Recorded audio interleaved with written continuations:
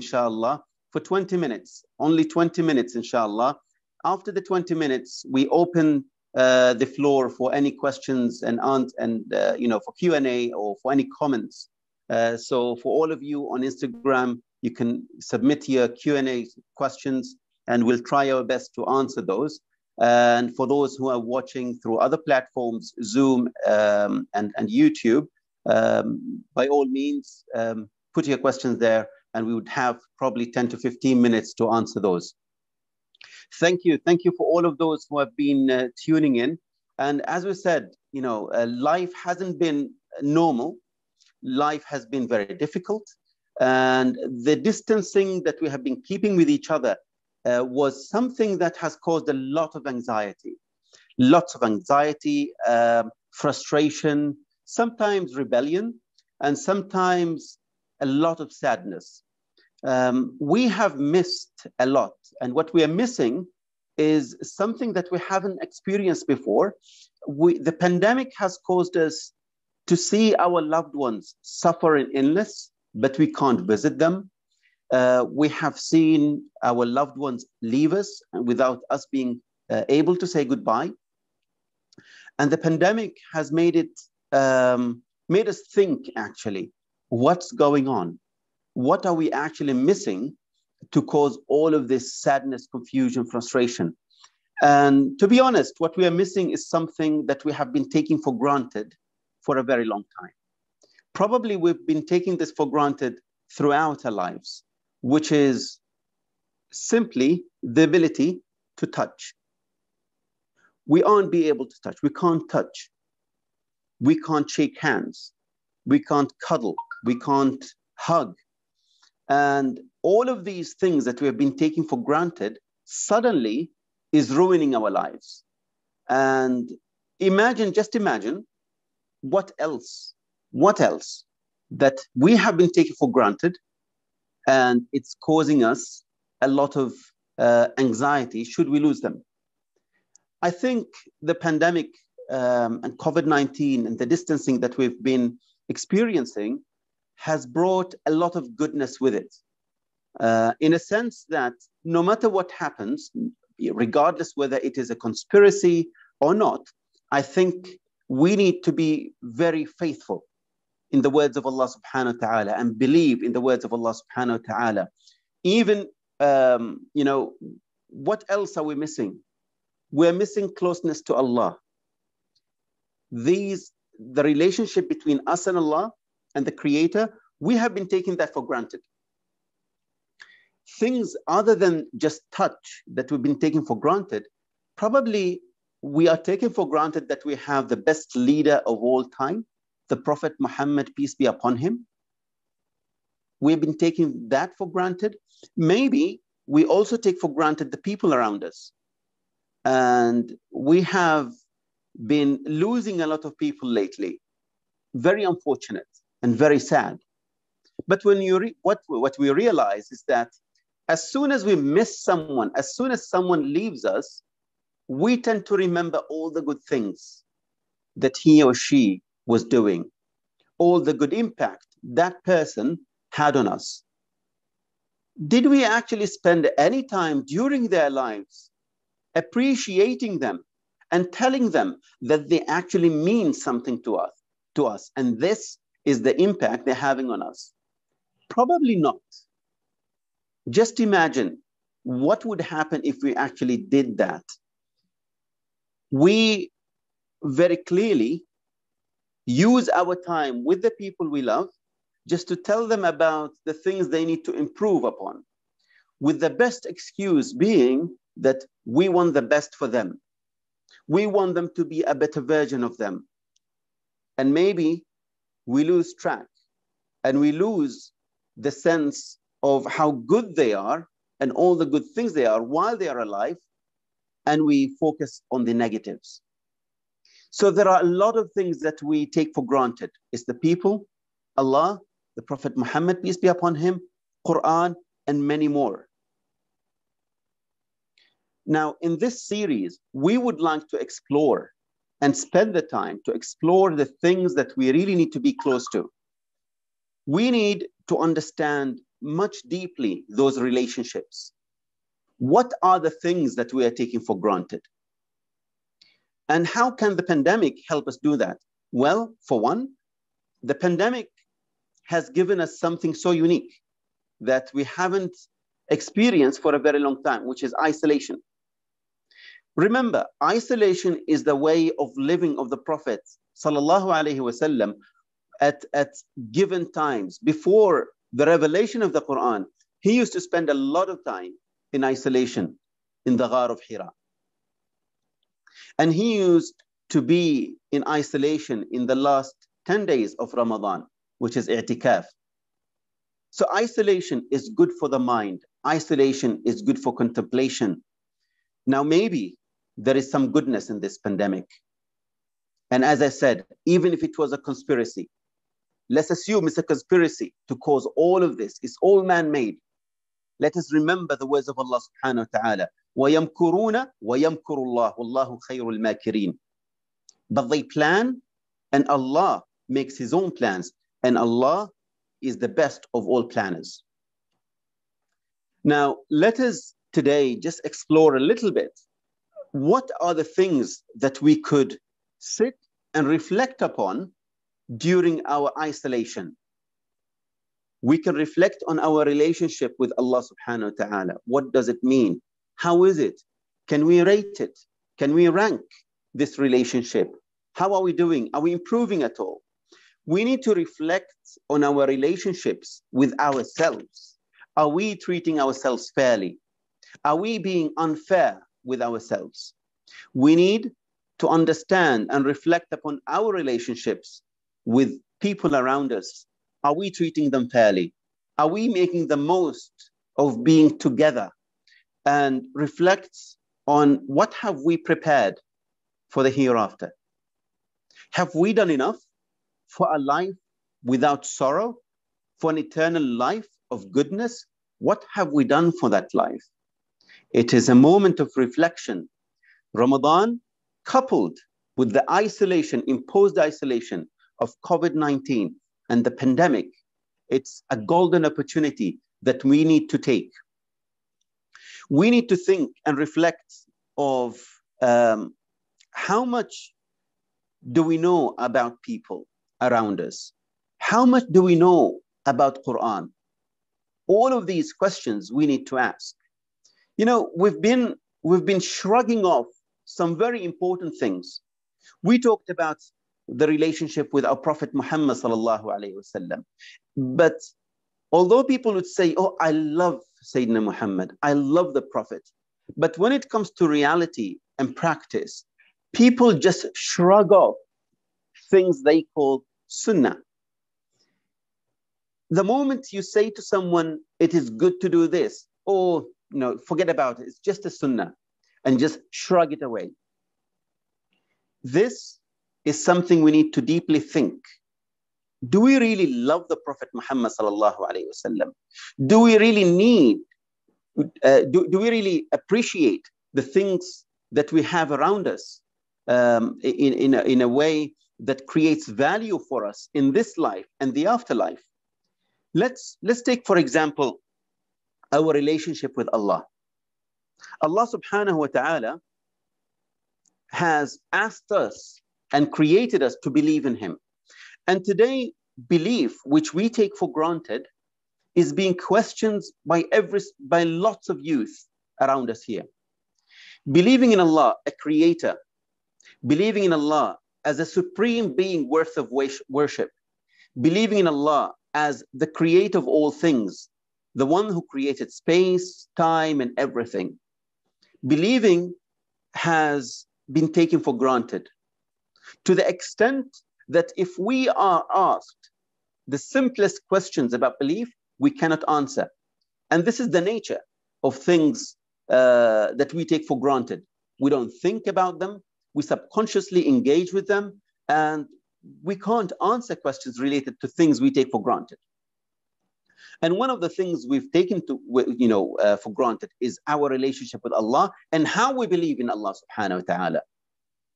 Today, we have a serious issue amongst youth and children and how we teach them how to believe in Allah. to the extent that our answers to those children have, have created you know, two different extremes. There are those who have extremist ideologies and ideas, and there are those who have completely left Islam and completely left religion and completely left and abolished that relationship with Allah subhanahu wa ta'ala. And the question of belief has become a question that uh, a lot of parents today have led their children to become atheists without them knowing. I have personally met a lot of atheists, Omanis, atheists Mus- who, who were born Muslims, very young, very, very, uh, very talented, and very bright. But the reason why they became disbelievers is because they have not been able to find answers. Whenever they ask parents, they shrug off those questions. Or sometimes they do answer them, but they don't have deep answers that can fulfill uh, the desires and the need of those uh, young, young people. We know more about our banks and the background and the history of our banks that are responsible for our money, but we don't know as much about Allah subhanahu wa ta'ala. We are very happy to just ignore very important questions because just the moment a question pops up, I'll pick up the phone and ask somebody. I don't need to have an answer. However, do we have the same attitude with our bankers? Absolutely not. Do we have the same attitude towards, let's say, the schools we put our children towards? No. We need to know every single thing about those. We need to know everything about who is responsible of our investments, our money. We, we choose very carefully. But when it comes to Allah, it is enough that we worship. I don't need to be a mutawwa. I don't need to be a mufti. Why should, shall I know all of this? And the result is a child who comes and asks a parent, the parent does not answer. And this is a real story. It happened where the parent could not answer. And after many years later, that incident caused that particular individual to completely, as an adult, of course, to completely get out of Islam into atheism. So we need to think very deeply. Do we really know what believing in Allah means? Do we really understand that this is not an emotional issue? Belief is not an emotional uh, process. In fact, and this is this is what, what a lot of youth today say that you know we are engaged intellectually, um, we are very logic, and hence belief does not resonate with us. We need something logical. We all forget sometimes that belief and iman is something that is purely logical and not emotional at all. So let us learn a three step process of what Iman or faith is. Iman is very simply, or belief, is a result of contemplation, number one, derivation, number two, and internalization, number three. What do we mean by that? Allah subhanahu wa ta'ala has told us in the Quran that we need to look around contemplate in his creation, think deeply of how earth was created, of how the skies and the heavens were raised. We need to look at the intricacies of life and how everything works in harmony the orbit of the sun, the orbit of the moon, the orbit of the planets. We need to contemplate on, on the complexities of our own creation we need to reflect on ourselves. In many times, the Quran is taking us back into reflection. We need to reflect. إن في خلق السماوات والأرض واختلاف الليل والنهار لآيات لقوم يتفكرون. The creation of the heavens, the creations of the earth, the creation of the day and night, there are indeed many signs for those who reflect. So Allah is talking to us as His creatures and teaching us a way of how we can reach him through pure contemplation and pure engagement of the intellect and the mind. Once we do that, once we contemplate, we go into the second step, which is derivation. We need to derive. So contemplation brings in a lot of information into your mind. What do you need to do with that information? Derive from it. I was in, engaging with an atheist very recently, and I helped that particular individual derive the names of Allah subhanahu wa ta'ala from pure contemplation. So, for example, if we believe that the whole universe, with its all complexities, was created by a very powerful being, then if we examine carefully all the details of this universe and every single creature that lives in it, don't we think that a creator of such beauty has knowledge? Of course. Then knowledge is one of the attributes of Allah subhanahu wa ta'ala. What about willingness? Can someone with knowledge but without a will create such universe and create such beauty? Of course not.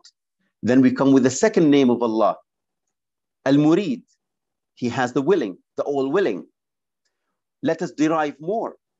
What about ability, al qadir? Can someone with knowledge and, and, and will to create such huge and enormous and ever growing universe? Can anyone create that without power, without will, or without, uh, uh, the, without ability? Of course not. Then we have the name Al Qadir, and slowly, the more we think, the more we contemplate, we can derive more and more and more purely by using our minds. Then we can relate all of that to what we have in our revelations in the Quran and, and, and align intellectual thinking with believing in the text of Allah subhanahu wa ta'ala. This is how we strengthen our iman. This is how we make our iman strong. A lot of us, you know, um, see a lot of reverts who come into Islam after a very long journey of research.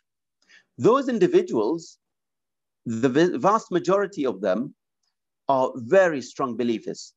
Probably some of us would say that they are stronger than us in the way they believe in Allah subhanahu wa ta'ala. Why? Because, because they have not taken that belief for granted. They have gone through a lot of research, contemplation, derivation, and then the final step, internalization. This is what we need to do. Not just because we were born with it, then we can just uh, feel safe. No, because one day a question would come and we would not have an answer. And the consequence of not having that answer is that someone might think of leaving Islam. Think of how serious the matter is. So in this, in the coming few days, we will talk more and more about relationships, relationship with Allah. What does Iman means? What does submission means? A relationship with, with people. What does it mean to have a relationship with people? Let us examine relationships with our fathers, our, our, our mothers, our parents, our spouses, our children, etc. And let us examine relationships with things that mean a lot to us, like life, money, knowledge, etc. We have just touched upon the, the, the topic today. And hopefully tomorrow, inshallah, we will go deeper into our relationship with Allah subhanahu wa ta'ala. But what I would like from you know those who are watching us today is summarize what we talked about today, post it on Instagram, and mention me. Mention us, mention Gheras Noor, and mention uh, me, and let us have a look at what you have summarized and share this knowledge with, with people. 21 minutes since we started. So I would stop here. I would keep my promise. I would stop here and we will take some questions. And I can see that there is a single question here that was posted It was not a question. It was just some uh, uh, icons. Any questions? If we don't have any questions from both Instagram and uh, Gheras Alnoor, then we will stop here and we say Ramadan Mubarak to all of you. And we'll see you tomorrow, inshallah, at the same time. Thank you. Thank you very much. Assalamu alaikum wa rahmatullah.